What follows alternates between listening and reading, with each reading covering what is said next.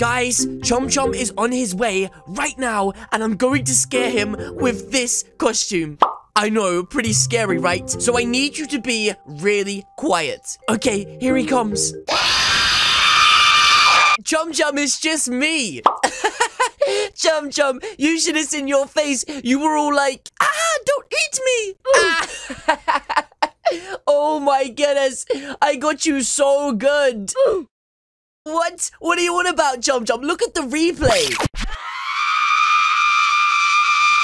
Ah.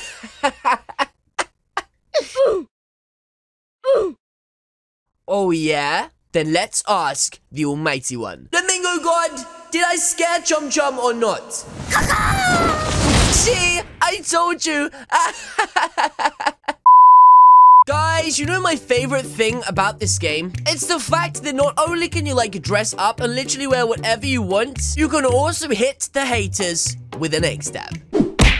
So, hey guys, what is going on? It is me, and welcome back to another video here on the channel where today, guys, I'm going to show you how to become uh, Scream or Sheik or whatever the flip, that thing that was in the beginning of the video is called.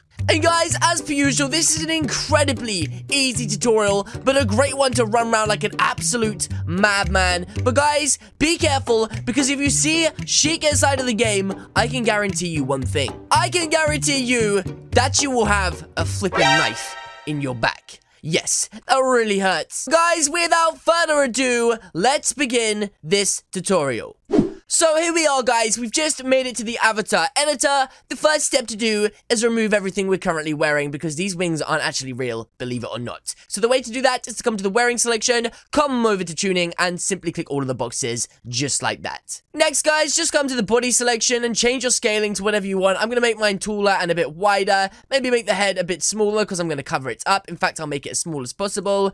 Then guys, what you want to do is you can change your animation by coming over to here and literally selecting whatever you you want. I'm gonna go with the night animation. Look how weird I look with a small head, little pinhead. And guys, once you're looking something like this, you're ready for the next step, which is to equip some clothes. So to do that, come to the wearing selection, then just simply come to pants. Once you're under pants, guys, click custom pants, and the box will fall down because of the flamingo god. Simply copy the code, put it in your box, and press wear, just like that. And guys, we're gonna do the exact same thing, the shirt, custom shirts, and input the following code just like that. Now guys, we're going to want to come back to the body selection because we need to change the color of our skin to black. So click this gray color, then click down here and just make it like a dark gray so that it matches your outfit like that. And guys, that is it. That is how you become...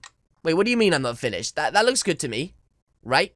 Okay, you guys got me. What you need to do next is come to the wearing selection and come to hats and simply search Shriek up here like that and equip this helmet. Then come to tuning, make it full size, just like this guys. You can make it as big or as small as you want. And if you need to, you can also change the rotation. I'm going to literally twist mine back a bit so that it's sitting on the body better, just like that. And guys, that is it. Just imagine you're playing Roblox in high school and this flipping guy jumps out on you. But yes, guys, that is going to be it from me today.